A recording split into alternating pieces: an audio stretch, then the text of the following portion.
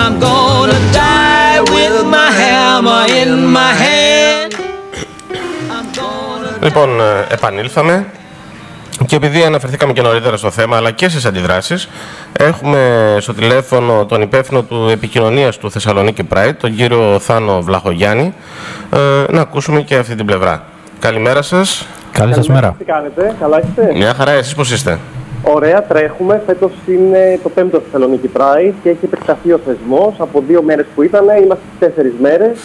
Αρχίσαμε δυναμικά χτες με ένα street party στην Καλαποθάκη, στην οδό Καλαποθάκη και συνεχίζουμε σήμερα με εικαστικέ εκθέσεις σε διάφορα μέρη της πόλης. Αύριο έχουμε το καθιερωμένο street party στην πλατεία χρηματιστηρίου και την, ε, το Σάββατο έχουμε τη μεγάλη πορεία υπερηφάνειας, τη μεγάλη παρέλαση, η οποία θα ολοκληρωθεί με μια συναυλία κατά το Λευκό Πύργο.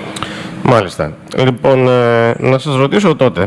Ε, φυσικά ο καθένας έχει δικαίωμα ε, στην προσωπική του ζωή και να τη διαθέτει όπως θέλει κλπ.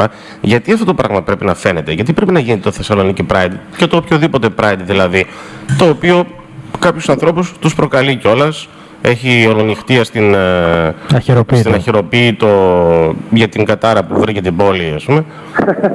Γιατί πρέπει να γίνεται όμως το Θεσσαλονίκη Pride; Να πούμε πως ε, όλες αυτές οι αντιδράσεις ε, σε ένα κοσμικό κράτος όπως είναι η Ελλάδα, γιατί θέλω να πιστεύω ότι δεν ζούμε σε ένα θεοκρατικό κράτος, είναι ένα κοσμικό κράτος, ε, είναι τουλάχιστον γραφικές.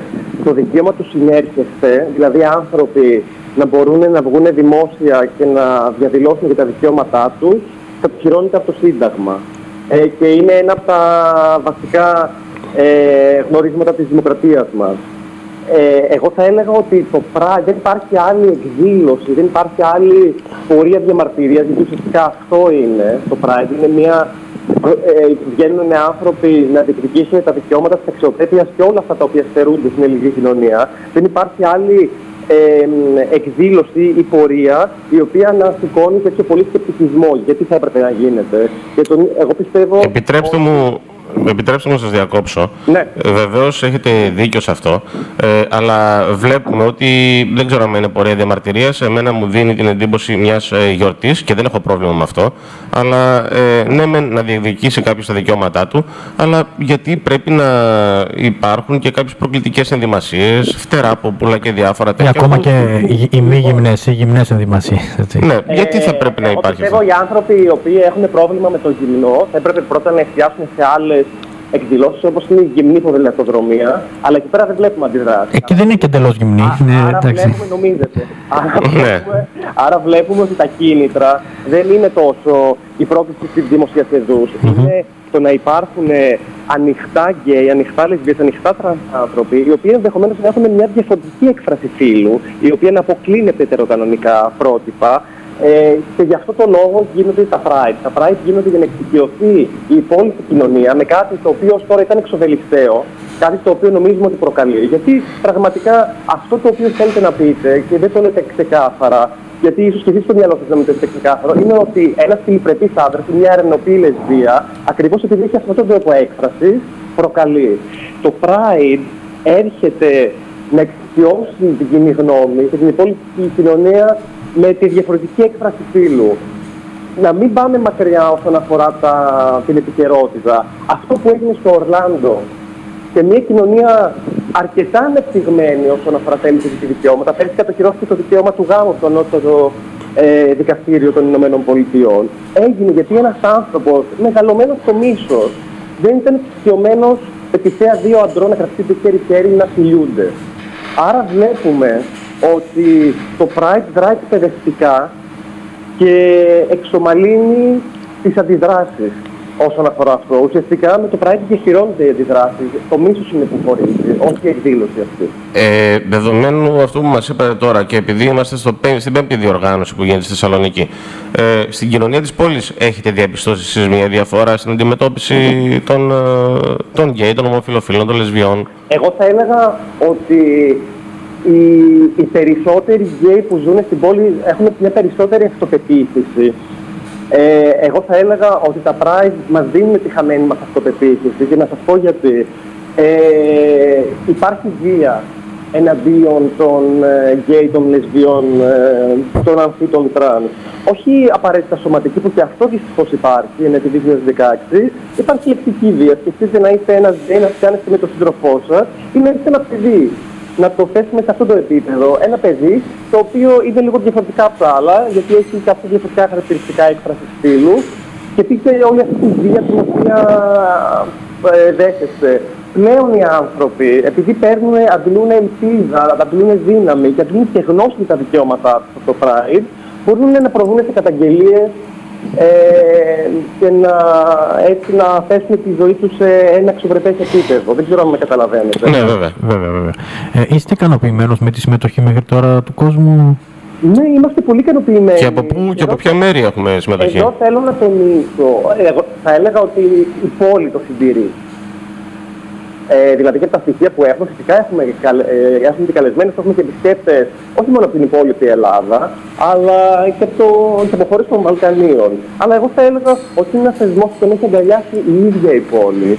Και αυτό το είπα και χθες στη συνέντευξη τύπου, πάντα θα συγκινούμε όταν βλέπω οικογένειες με τα παιδιά τους να έρχονται στα περίπτερα που θα είναι στημένα στο λευκό πύργο, να ενημερώνονται για το τι είναι το Pride, να θέλουν να μάθουν τα παιδιά τους τη διαφορετικότητα και να συμμετέχουν στην παρέλαση. Το θεωρώ πολύ συγκινητικό και εφόσον έχουμε τέτοιους γονείς, πιστεύω ότι η χώρα μας είναι σε πάρα πολύ καλό δρόμο. Η Θεσσαλονίκη θα, είναι, θα πρέπει να είναι περήφανη.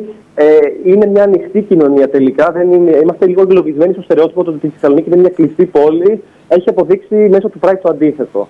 Εγώ θα επανέλθω στις αντιδράσεις και επειδή είπατε για οικογένειες και λοιπά, μπορώ σε Ναι. περίπτερα ε, και θα το θέσω έτσι πολύ ας πούμε ε, ξεκάρφατα.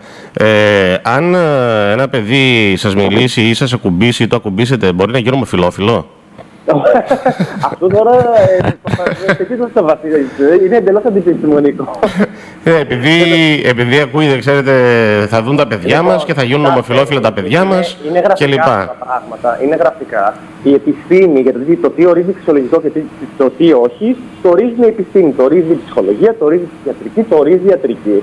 Όλες αυτές οι επιστήμες έχουν αποφανθεί για την ομοφιλοφιλία και την αμφιφιλοφιλία και όλα τα άλλα τα οποία αφορούν σεξουαλικότητες και φύλο και όλα αυτά. Πώς είναι άκρως φυσιολογικά. Είναι γελοίο και επιτρέψτε μου να το πω, κάποιος να νομίζει τέτοια πράγματα. Καταλαβαίνω ότι δεν είναι δικιά σας άποψη. Ναι, βέβαια. Ε, εκπροσωπείτε ένα μέρος των ακροατών σας, οι οποίοι ενδεχομένως να έχουν κάτι τέτοιο στο μυαλό τους.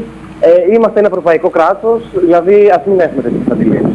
Ε, άκουσα την ε, εκπρόσωπο του τρανς, την κυρία Πέργη, τον τρανς, την κυρία Πέργη στη συνέντευξη που την είδα στην τηλεόραση, ε, να μιλάει για κάποια προβλήματα που αντιμετωπίζουν ε, τα άτομα διαφορετικού, διαφορετικού ε, προσδιορισμού φύλου σε, Ναι. απλά, σε απλές καθημερινές ε, λειτουργίες. Άμα θέλετε να σας το εξηγήσω αυτό το πράγμα. γιατί Ναι, ναι, έχω όχι, μέσα να, μέσα να, να ολοκληρώσω, επιτρέψτε Ναι, μου. πείτε.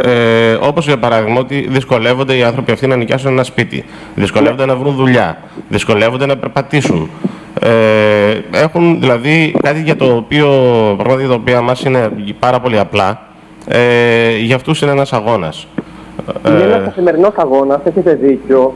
Σκεφτείτε μια γυναίκα, μια τρανς γυναίκα, η οποία το κράτος δεν της επιτρέπει να αλλάξει τα χαρτιά της, οπότε τα έγγραφα έχει ένα αντρικό όνομα. Καταλαβαίνετε ότι όταν είναι να προβεί σε μια υπηρεσία, από το να πάρει ένα δέμα. Σκεφτείτε έναν υπάλληλο, ο οποίος δεν γνωρίζει για την τρανς ταυτότητα, τι πρόβλημα μπορεί να δημιουργήσει σε μια τέτοια γυναίκα. Πέρα από, τον, από την αμηχανία, η οποία μπορεί να είναι κακοποιητική, δεν λέω ότι υπάρχει δόλος, αλλά πολλές φορές υπάρχει και δόλος, υπάρχει χλευασμός, η δουλειά δεν γίνεται, θέλουν να πάνε σε μια τράπεζα να πάρουν ένα δάνειο, να βγάλουν λεφτά, βλέπουν ότι το όνομα δεν συνάδει με αυτό το οποίο βλέπουν, το οποίο είναι μια γυναίκα, και αντίστροφα, γιατί υπάρχουν και τρανς άντρες. Ε, οπότε καταλαβαίνετε ότι όλο αυτό είναι ένας καθημερινός αγώνας. Πέρα και από τον κοινωνικό αποκλεισμό, ε, γιατί δεν θέλει κάποιος να νοικιάσει το σπίτι του σε έναν τρανς άνθρωπο. Ε, εσείς είστε κάποιοι άνθρωποι οι οποίοι βγαίνετε προς τα έξω, μιλάτε. Ε, υπάρχουν όμως και κάποια παιδιά ε, που ή το αντιμετωπίζουν ίσως και λίγο περίεργα. Ίσως δεν ξέρουν τι τους συμβαίνει, κάτι συμβαίνει, προσπαθούν να αποφασίσουν. Ε, τι πρόβλημα αντιμετωπίζει ένα παιδί στο οικογενειακό περιβάλλον, στο σχολείο, στους φίλους. Κοιτάξτε, ε, είναι ένας αγώνας πάλι.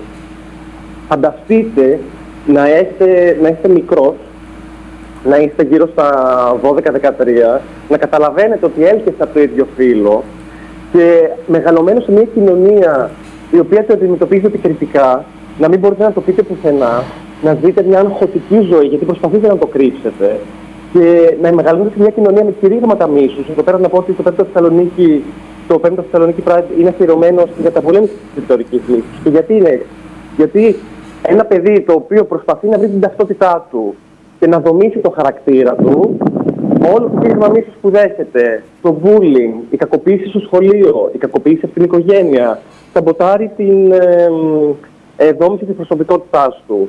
Έρευνες που μας έρχονται και από το εξωτερικό, αλλά και εδώ πέρα πλέον αρχίζουν και γίνονται, μας λένε ότι τα παιδιά με διαφορετικό σεξουαλικό προσανατολισμό και ταυτότητα φύλου έχουν τέσσερις φορές παραπάνω πιθανότητες για αυτοκτονικές τάσεις. Το οποίο σημαίνει ότι είναι παιδιά τα οποία είναι εγκλωβισμένα ε, ακριβώς επειδή η κοινωνία δεν τους δίνει τα εφόδια να αποδεχτούν τον εαυτό τους. Πώς γίνεται να αγαπήσεις τον εαυτό σου όταν δεν σε αγαπάνε οι γονείς σου, δεν σε αγαπάνε οι συμμαθητές σου, δεν σε αγαπάει η υπόλοιπη κοινωνία. Μάλιστα. Λοιπόν, ε, να ευχηθούμε τα καλύτερα για Καλή, όλους. καλή επιτυχία στις Καλή επιτυχία. εκδηλώσεις. Ευχαριστούμε. Εδώ να πω ότι ε, εμένα μου αρέσουν οι ερωτήσεις οι οποίες ε, έχουν να κάνουν με το σκεπτικισμό του πράγματος και δεν πρέπει να γίνεται. Η καλύτερη απάντηση δίνεται όταν ε, συμμετέχει σε μια τέτοια πορεία. Γιατί πολλές φορέ και τα media αναπαράγουν κάτι το οποίο δεν εκπροσωπεί την πραγματικότητα για το τι είναι πραγματικά το Pride. Εγώ καλώ αυτούς και αυτές οι οποίες ε, ε, αντιμετωπίζουν το Pride με ένα σκεπτικισμό ε, να έρθουν σε 7,5 ώρα στο Λευκό Πύργο και να βγάλουν τα δικά τους συμπεράσματα. Το πιο σωστό βέβαια. Ναι. Να είστε καλά, καλή είστε καλά. επιτυχία. Σας ευχαριστώ πολύ. Να είστε καλά. Γεια. Γεια σας.